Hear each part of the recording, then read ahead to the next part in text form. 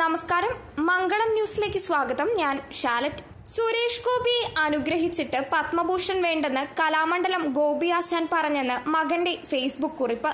സുരേഷ് ഗോപിക്ക് വേണ്ടി പല വി ഐ പികളും അച്ഛനെ സ്വാധീനിക്കാൻ നോക്കുന്നുണ്ടെന്നും ആ ഗോപിയല്ല ഈ ഗോപിയെന്ന് എല്ലാവരും മനസ്സിലാക്കണമെന്നും ഗോപി ആശാന്റെ മകൻ രഘുരാജ് രഘുകൃപ എന്ന ഫേസ്ബുക്ക് അക്കൗണ്ടിൽ എഴുതിയ കുറിപ്പിൽ പറയുന്നു.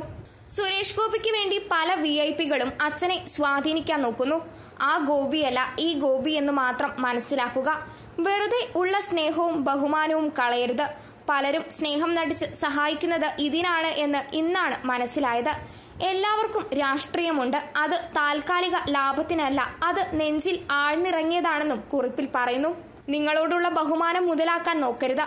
പ്രശസ്തനായ ഒരു ഡോക്ടർ അച്ഛനെ വിളിച്ചിട്ട് പറയുന്നു നാളെ അങ്ങോട്ട് വരുന്നുണ്ട്. സുരേഷ് ഗോപിയെ അനുഗ്രഹിക്കണമെന്ന്. അച്ഛന് മറുത്തൊന്നും പറയാൻ പറ്റാത്ത ഡോക്ടറായിരുന്നു വിളിച്ചത്. അച്ഛൻ എന്നോട് പറഞ്ഞോളാൻ പറഞ്ഞു. ഞാൻ സാറെ വിളിച്ചു പറഞ്ഞു.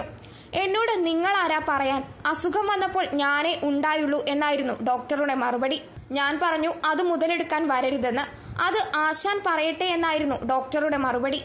അവസാനം അച്ഛൻ വിളിച്ചു പറഞ്ഞു വരേണ്ടെന്ന്. അപ്പോൾ ഡോക്ടർ ആശാന് പത്മഭൂഷൺ കിട്ടേണ്ടേ എന്ന് തിരിച്ചു ചോദിച്ചു. അങ്ങനെ എനിക്ക് കിട്ടേണ്ടെന്ന് അച്ഛൻ മറുപടി നൽകിയെന്നുമാണ് കുറിപ്പിലുള്ളത്. ഇനിയും ആരും ബി ജെ പിക്കും കോൺഗ്രസിനും വേണ്ടി ഈ വീട്ടിൽ കയറി സഹായിക്കേണ്ട.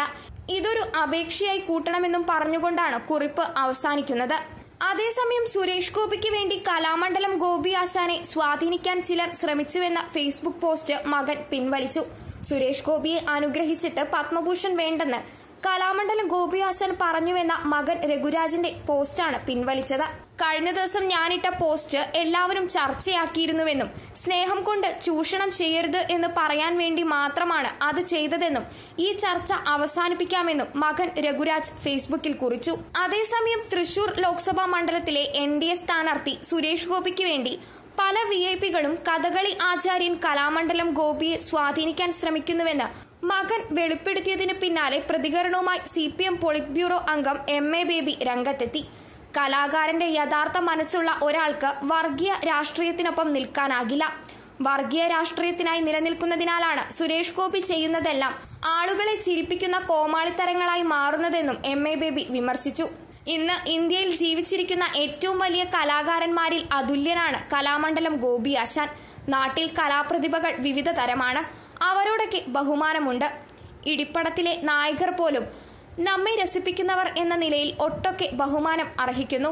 പക്ഷേ അവർ കലാമണ്ഡലം ഗോപിയാശാനെ പോലെ ഒരു അവതാര പുരുഷന് വിലയിടരുത്.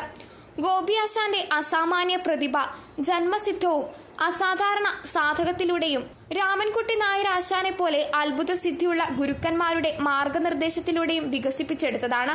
അതിനാലാണ് അവതാര പുരുഷൻ എന്ന് ഒരർത്ഥത്തിൽ വിശേഷിപ്പിച്ചത്. ഭൂരിപക്ഷ മതത്തിന്റെ ഹീനമായ വർഗീയ ആധിപത്യ രാഷ്ട്രീയത്തിന് ആത്മാവ് പണയപ്പെടുത്തിയ ആളാണ് സുരേഷ്.